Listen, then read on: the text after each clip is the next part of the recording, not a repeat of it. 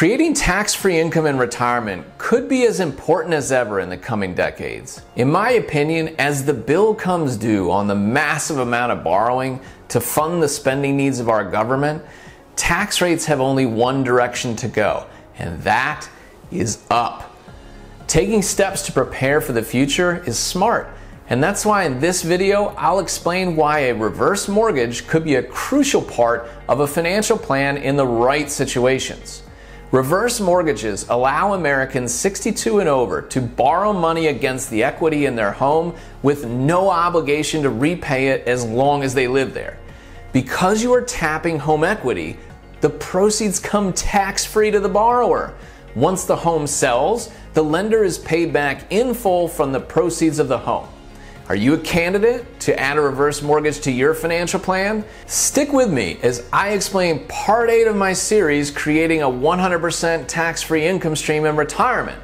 This video is about how reverse mortgages can deliver a tax free income stream, potentially increase your net worth, keep Social Security from being taxed, and avoid IRMAA surcharges on Medicare.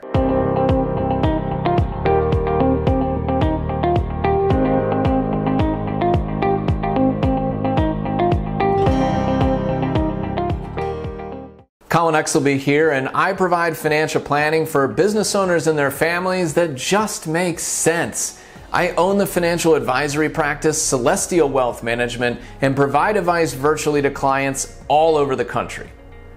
Reverse mortgages.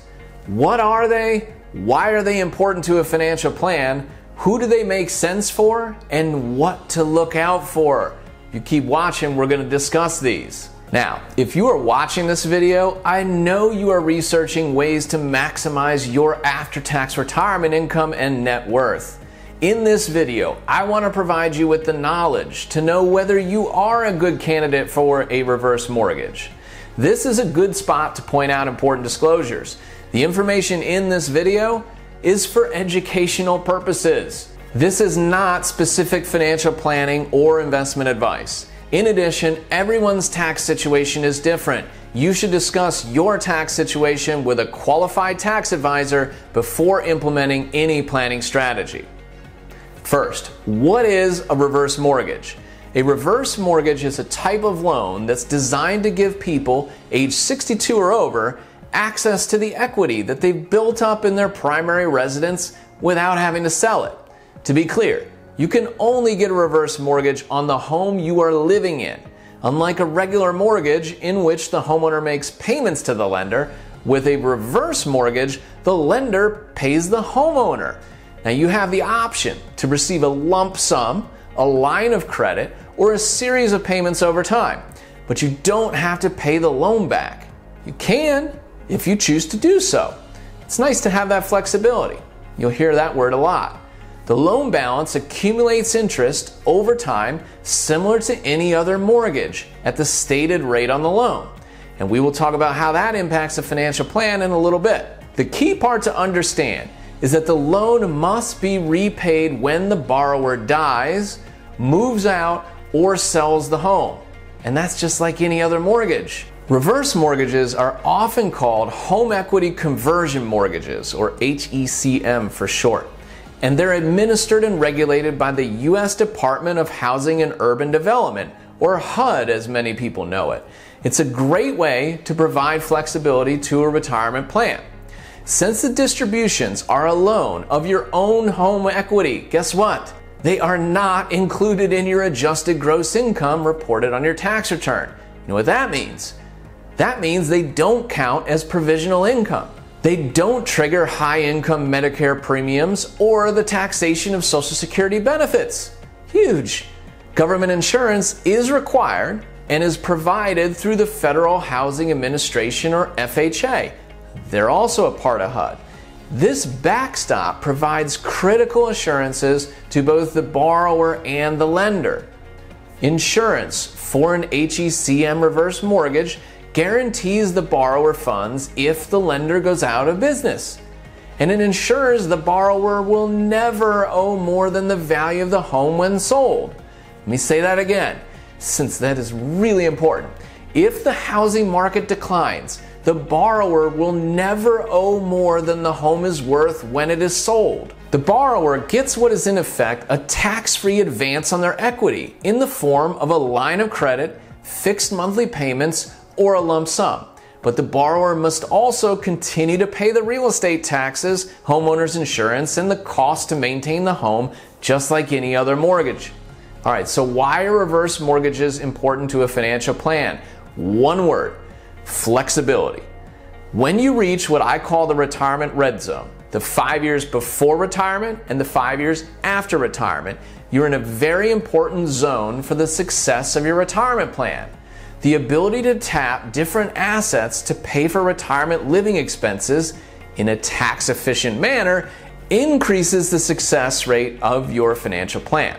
For many retirees, a good portion of their retirement assets are socked away in tax deferred retirement accounts like traditional 401ks and IRAs. I just talked with someone today about this. Over 90% of their assets are in these traditional 401ks and IRAs. Guess what? These assets have likely never been taxed. So, what happens when you go to withdraw them? Well, when they're withdrawn, they're taxed at income rates and they contribute to provisional income.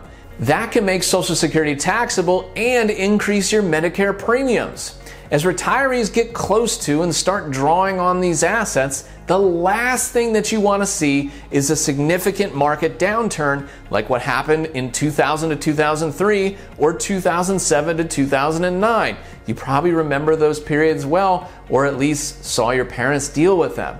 Of course, there is no way to predict if or when a major stock market decline will occur.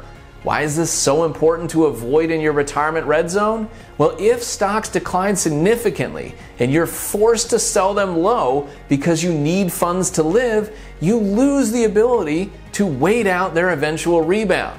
For that reason, having an ability to access other assets, like a reverse mortgage, can help reduce the chance of running out of retirement funds early. In essence, if markets were down and you had access to a reverse mortgage, you could potentially use those funds tax free, remember, until the stock market recovers, and then tap the retirement accounts. You could even elect to tap those accounts and pay back the home equity you took out if you wanted to. There's nothing in a reverse mortgage that says you can't. A second reason reverse mortgages can be so important to a retirement plan has to do with the taxes and surcharges. These are what I like to call stealth taxes because they creep up on you without realizing it. In previous videos in this series, we talked about the changes to the current tax brackets and the chances that tax rates rise significantly from here. Currently, there are two significant jumps in the tax bracket at certain income levels from 12% up to 22% and from 24% up to 32%. If your Social Security, pension, or other income each year comes to the middle of a tax bracket, and retirement account withdrawals would push you into a higher tax bracket, it can be beneficial to use assets like a Roth IRA and a Roth 401k or home equity through a reverse mortgage to keep your income out of those higher brackets. Paying loan interest can be a lot less than paying significantly higher taxes from creeping into a higher tax bracket.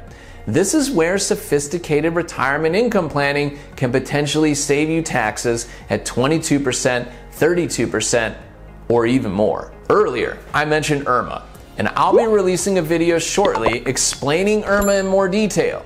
Basically, IRMAA is the Medicare income surcharge. For 2022, individuals with income over $91,000 a year and married couples with income over $182,000 a year pay a surcharge that's added to their Medicare Part B and Part D premiums. You can see those additional monthly charges here.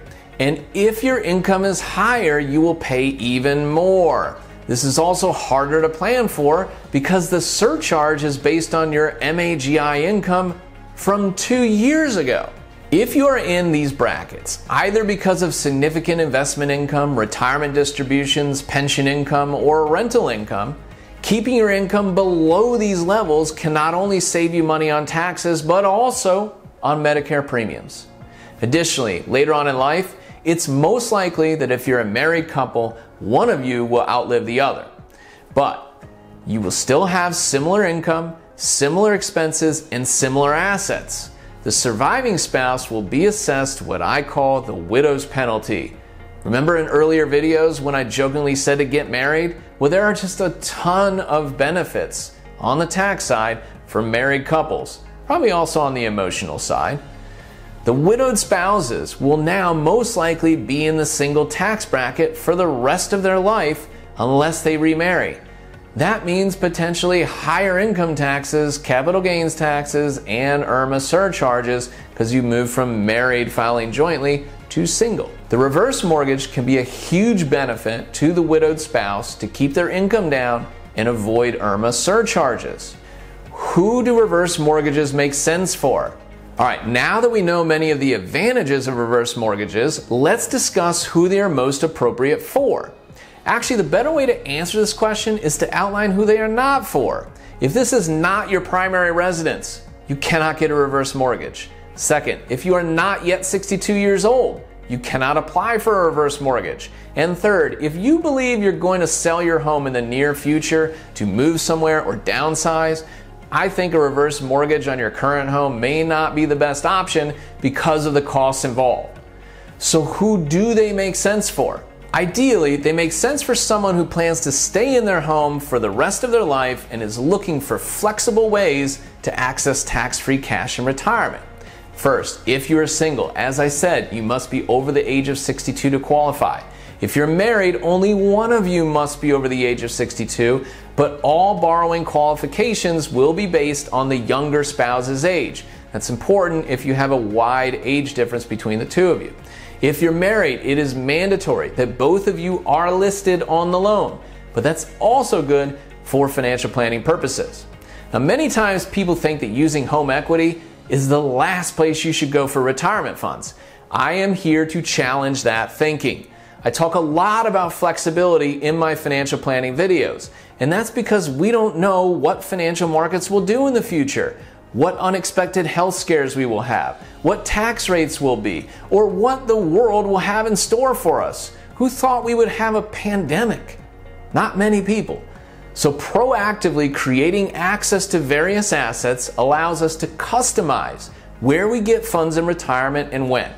This can potentially lower taxes significantly in retirement and can allow you to avoid having to sell stocks to live on during a downturn. Even CNBC personality and PBS host Suze Orman recently said on her show that accessing a reverse mortgage is often a better option than selling stocks when they've declined or paying capital gains taxes. Well, duh, that seems to make a lot of sense to me. All right, now that we know who a reverse mortgage candidate is, let's fast forward a minute. What happens when a reverse mortgage borrower does pass away? After a borrower passes away, the heirs take over the responsibility of repaying the reverse mortgage balance. Typically, heirs simply sell the house and use the proceeds to repay it. Proceeds from the sale of the home will always cover the entire repayment amount, even if the loan balance is higher than the sale price of the home. As a non recourse loan, no other assets of heirs can be taken by lenders to repay the reverse mortgage. That is huge and an often overlooked part of financial planning. Now, while most heirs plan to sell their parents' homes, if the heirs prefer to keep the home as an inheritance, they only have to repay 95% of the loan. That's a nice advantage. All right, so what to look out for? Number one, watch out for pushy salespeople recommending a reverse mortgage without really knowing your financial situation. If it sounds like they're selling a reverse mortgage to anyone with a pulse, run as fast as you can the other direction. Work with a knowledgeable financial planner who knows your situation. Number two, scrutinize the costs of the loan so you know what they are, but don't dwell on them. I've seen a number of misinformed people talk about the high borrowing costs of a reverse mortgage as a reason not to pursue them. Well, as with any loan, there is an underwriting process to determine if the borrower has the financial means to pay for the loan. Traditional mortgage loans are known to have mandatory closing costs and fees, and reverse mortgages are no different. Both loans require expenses and closing costs, and since reverse and traditional mortgage closing costs include many of the same types of fees, the overall expenses are often very comparable. What is the major difference? The major difference is that reverse mortgage borrowers will often need to pay insurance on the loan to the FHA. This is what backs the loan if housing prices don't keep up with the loan value. In my opinion, it's a small price to pay for the peace of mind of not owing more than the home is worth when it's sold. Now that you know all about reverse mortgages and their tax free income benefits, just click here for the next video in the series How to Create a 100% Tax Free Income Stream in Retirement. If you want to start from the beginning of the series, just click this video. Get clear, be clear.